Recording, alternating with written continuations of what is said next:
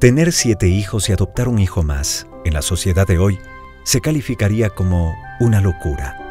Lo más curioso es cuando seis de estos hijos deciden consagrarse a Dios de por vida. Dos religiosas de claustro, una misionera y una vida de entrega en la familia de Doris.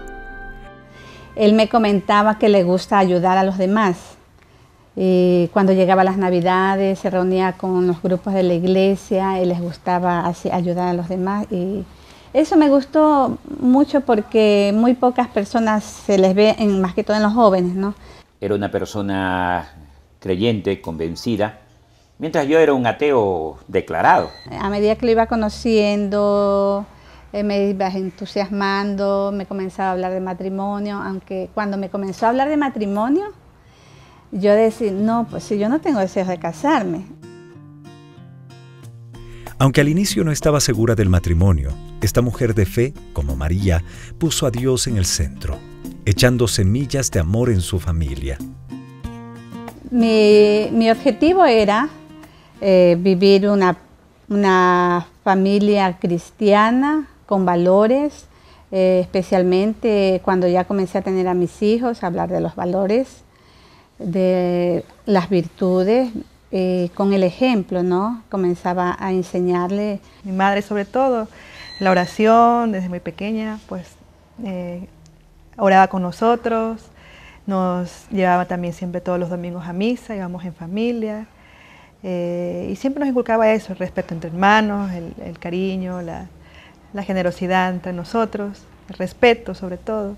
Y sobre todo, pues me han dado esa, esa parte más esencial que es como ver la unidad de, mi familia. O sea, eso, eso, el amor, la unidad que yo puedo ver, es algo que a mí me ha marcado bastante.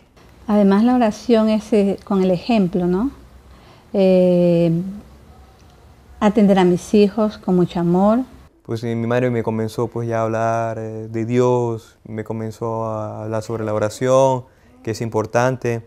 Pues a la final eso fue, fue una de las cosas que me rescató después de que pasé mi, mi, mi, etapa universitaria, ¿no? Estas enseñanzas sembradas en sus hijos con amor y constancia darían como resultado una apertura de ellos hacia la voz de Dios. Y en mis oraciones yo decía, Señor, dame aunque sea, cuando ya tenía todos mis ocho hijos, Señor, dame, le digo, dame una misionera o religiosa. Le pedí a Santa Teresita el Niño Jesús, por, las, por, lo menos una de mis hijitas, porque somos seis, que sea religiosa. ¿no? Digo, mamá, no pide estas cosas, porque yo en mi vida me había planteado algo de ser religiosa, misionera, no me llamaba la atención. Del ejemplo de esta mujer, esta familia tiene seis hijos consagrados a Dios, cada uno de una manera distinta, pero con el mismo amor al prójimo. Y nos fueron educando en la fe y, Dios que es grande tuvo misericordia de nosotros. Pensamos que muchas gracias hemos, sido, hemos recibido por eh, haber adoptado a un, a un bebé que quiso ser abortado.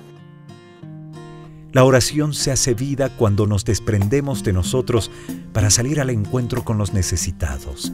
La oración se hace vida al acoger a los más débiles. Yo los tengo siempre presentes en mi, en mi oración, a los más pobres y a los más abandonados. Uno de ellos, mi hijo, que al comienzo, mi hijo adoptivo, lo abandonaron en el hospital. Mi esposa ha jugado un papel muy importante eh, dentro de la vida familiar con el niño, por ejemplo, que hemos adoptado, si es, es eh, realmente se gana todos los méritos por el cuidado y la atención. Fruto de esta familia de oración, con la guía de su madre, todos sus miembros están al servicio de Dios. La mayor está casada y su esposo Diego con él pertenecen a donde los hermanos identes tienen votos. Lo mismo mi hermano Daniel, que es el tercero, con su esposa Virna, también tienen votos. Mi otra hermana, la segunda, ella es consagrada al Señor. Ella está, es misionera en Filipinas, comenzó en la India, ahora posiblemente se vaya otra vez a la India. De ahí sigue mi hermana y yo, María Esther se llama, y yo estamos en, en la comunidad de aquí de Santo Domingo de Carmelitas. Quería entregarme al Señor. Después cuando yo fui conociendo un poquito más, mi deseo era salvar las almas. Mi otra hermana, mm, Angélica, ella es mm, Dorotea. Y, por último mi hermana la menor, ella está buscando dónde, dónde la quiere Dios.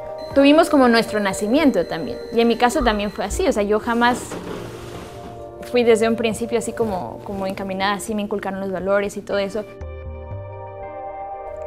Acogiendo la palabra de Dios, vemos cómo en la actualidad el ejemplo de la Virgen María está presente, dando muestras que hacer la voluntad de Dios lleva una vida feliz. Sí, el ejemplo de Nazaret, la, la presencia de nuestra Madre Santísima, esa humildad, esa sencillez con que llevaba su hogar, ese trato con San José, igual San José con ese respeto. Dios escoge a aquellos que estén dispuestos a escuchar y a hacer su voluntad. A ejemplo de María, Doris ha hecho vida a la palabra de Dios.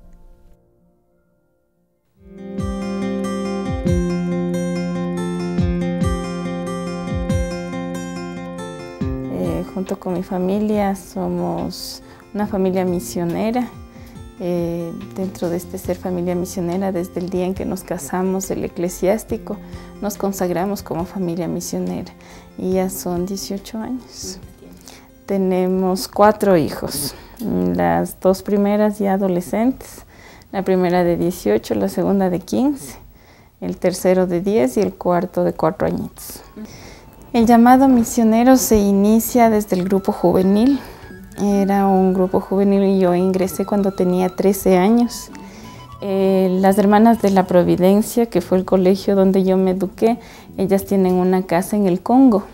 Entonces cada dos años llegaba una religiosa del Congo y compartía la experiencia, se hacía un foro y como estábamos en el grupo juvenil teníamos como esa relación más cercana para poder estar con ella y eso era lo que me llamaba mucho la atención, toda la experiencia misionera que desarrollaban en el África, todo el apoyo, todo el trabajo con niños, la catequesis. Yo creo que para nosotros como pareja ha sido fundamental encontrarnos los dos con los mismos ideales, como un equipo, como un conjunto, y que luego creo yo que al estar tan convencidos los dos, hemos irradiado esa luz a los niños también, ¿no? Ahora eh, Naomi, la primera hija, está por terminar el bachillerato y nos ha sorprendido con que quiere irse un año de misiones. Eh, recién en estos días alguien le dijo al pequeño Yeshua Francisco, que tiene cuatro años, le dijo, y tú vas a celebrar la Navidad con Papá Noel. Y Yeshua, que es muy expresivo, le dijo, ay, no sabes que Papá Noel no existe, es Jesús quien vive en tu corazón. Entonces para nosotros también fue así un decir, tiene cuatro años y ya lo manifestó. Y no es que te sentaste y, empezaste a darle una clase o algo así, sino que va saliendo de la experiencia de vida que vamos teniendo en casa. ¿no? Cuando sales de tu país, el el sacrificio de dejar tu familia, sí cuesta, ¿no? Dios es un Dios de amor que eh, en la misión te hace descubrir que tu familia no solo es la familia de sangre, sino el mundo, el prójimo. Y entonces ya en la experiencia misionera, cuando con otras familias iban teniendo este apego, esta cercanía, iban descubriendo que la familia iba creciendo, ¿no? Entonces, este, tal vez esta herida que quedaba abierta por dejar una familia se iba cerrando porque la familia iba creciendo mucho más.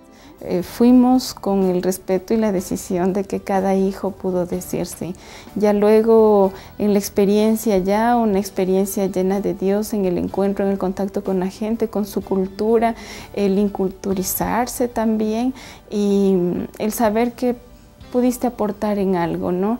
Eh, se generó una nueva pastoral allá, que fue, por ejemplo, la pastoral de la mujer. Y lo primero que salió, me acuerdo, fue el eh, alfabetizar para evangelizar. Fue un grupo de profesoras que estaban dispuestas a hacer algo más allá y entonces empezamos a alfabetizar a personas adultas eh, la experiencia más grata de una señora de 85 años que aprendió a leer y escribir. Y cuando el padre le encontró caminando desde su aldea hasta la, hasta la iglesia, le dijo, le llevo en la camioneta y la señora le dijo, no padre, porque estoy dando gracias a Dios, porque creo que ahora puedo morir en paz, porque mi sueño era leer la palabra de Dios y ahora lo he alcanzado había mucho machismo o habían heridas aún causadas por el conflicto armado que vivió Guatemala y entonces es decir, ¿qué más hacemos? No? Entonces se fueron generando clínicas de atención psicológica a la cual llamamos clínicas Madre Teresa de Calcuta.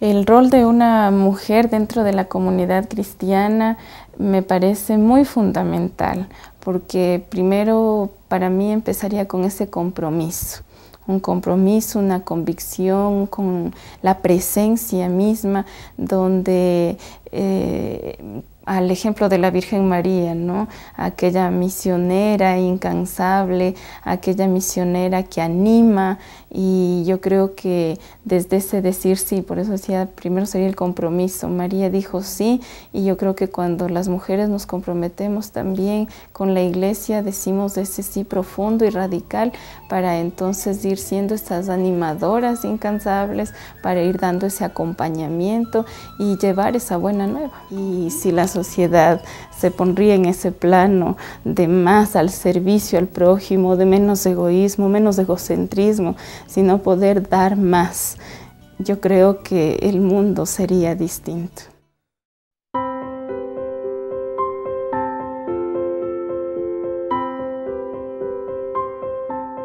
Yo no sé ni leer ni escribir, pero sí sé hablar. Y es la persona aquella que ella dice que porque ella es analfabeta no quiere que otros niños sean igual. Que porque ella no sabe leer ni escribir no quiere que los demás niños sean igual.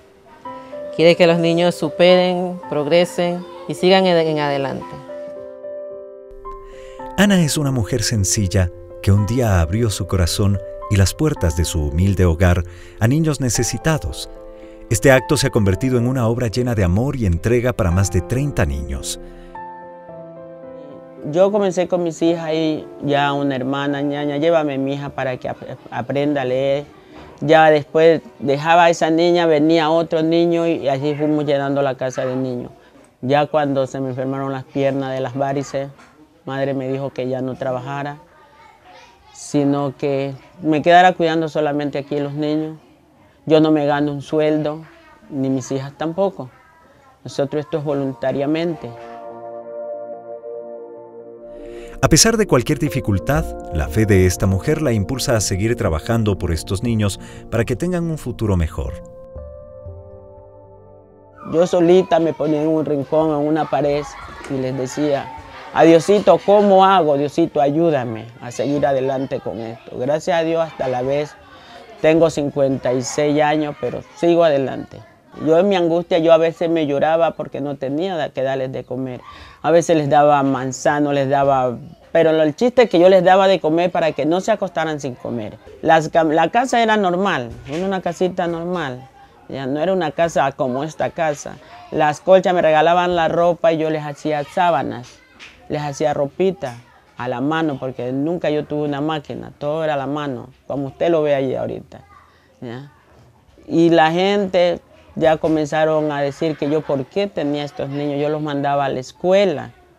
Bajo mi pobreza los mandaba a la escuela. Dirá la gente, si usted no tenía, ¿para qué yo me comprometí? Pero las cosas no deben de ser así. Hay que ayudar al prójimo. Y es lo bonito es decir, ayudé a unas personas.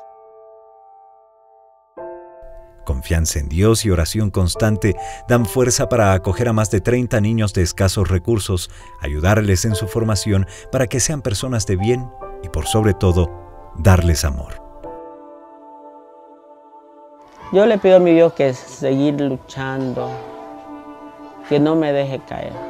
Yo le agradezco mucho a Dios, porque si no fuera por Él tampoco yo no estuviera aquí, ya ni tampoco hubiera formado esto.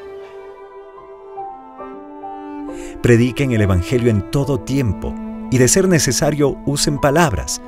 A esta frase de San Francisco de Asís, Ana le ha dado vida trabajando en silencio como María, en medio de los apóstoles, dando ánimo para no desfallecer. Mi mamá para mí es una, gran luchadora. A pesar de, nuestra, de la pobreza, ella sigue adelante. Eso es lo que ella siempre nos ha enseñado, que no debemos decir no podemos, sino sí podemos. A veces no nos tenía mi madre que darme de comer, por eso es que yo a veces le digo a mis hijas, luchemos, sigamos adelante. Mi mamá sigue, sigue luchando y no quiere que los niños sean, en el futuro sean unos, unos vagabundos. Para mi mamá, para mí es genial. Genial, genial. Ella nos ha enseñado principalmente el respeto a las demás personas, tanto como el amor y el cariño que nos brinda tanto como a su hijo como a los niños que viven en esta casa. ¿Así? ¿La quiere mucho? ¡Sí! Mucho, mucho, mucho. ¡Sí! ¿Qué, más, ¿Qué es lo que más aprendí de mi mamá? A ser cariñosa, a respetar a los demás, que es algo que ella siempre nos enseñó a todos nosotros. Porque nosotros somos cinco hermanos y eso es lo que ella siempre nos enseñó a nosotros. A respetar a los demás y a darle amor a los demás. Ella nunca dijo no puedo sino que siguió adelante con... A pesar que no había, a veces no había que comer, ella de lo poco que tenía le daba de comer a los niños y a nosotros. Ser pobre también uno se siente orgulloso, porque yo me siento orgullosa de ser pobre y de vivir como he vivido, de criarme en la familia que me crié. Y con la super mamá que tengo, la verdadera felicidad va más allá de poseer cosas materiales si se tiene lo más grande en el corazón. Dios nos llevará a vivir una vida plena en favor de los demás. Estoy feliz. Gracias a Dios, yo me siento feliz. Aunque tengo que ayudar al Padre, pero yo me siento feliz.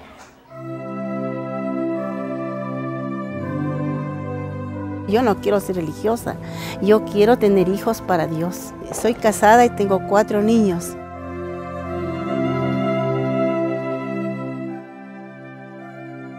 Una monja con hijos. Herminia, que es un nombre propio de origen germano y significa consagrada de Dios, nos cuenta una historia poco común, pero que llama mucho la atención. Un sacerdote que buscaba vocaciones le dijo un día si quería ser religiosa. La joven sorprendida le contestó, Yo no quiero ser religiosa, yo quiero tener hijos para Dios. Encontró el amor de su vida, se casó y tuvo cuatro hijos. Eh, mi esposo fue muy bueno, muy responsable, fui muy feliz en mi matrimonio. Esa propuesta de unos años atrás dejó una semilla en su corazón. Le dije al padre, padre, me gustaría ser religiosa. Como él me vio joven todavía y muy piadosa, me dijo, claro, hijita, está bien que seas religiosa. Entonces le dije, padre, parece que tengo un pequeño problema. No hay problema para Dios, me contestó. Le dije, no, padre, soy casada y tengo cuatro niños. Unos años después ocurrió una tragedia en su hogar. Mi esposo murió, yo quedé como de 33 años, muy joven. Sí, mi mami siguió trabajando un tiempo más porque pues todavía tenía a mis hermanos, pero ya sin mucha responsabilidad porque ellos son mayores que yo. Entonces estuvo unos años más y ella empezó a buscar. Un día un sacerdote santo eh, holandés y me regaló unas obras de Santa Teresa. Y cuando cerré el libro dije, esto es para mí. Le conté a mi director espiritual y me dijo, claro, tú puedes porque estás viuda. La decisión estaba tomada. Era hora de comunicar a sus hijos. Cuando yo les manifesté que quería ser religiosa, ellos me dijeron lo siguiente, si tú eres feliz, nosotros somos felices. Ingresó al monasterio del Carmen Alto y amplió su familia. Pero el deseo de servir a Dios desde un monasterio fue también el de su última hija Benedicta, que significa bendecida por Dios.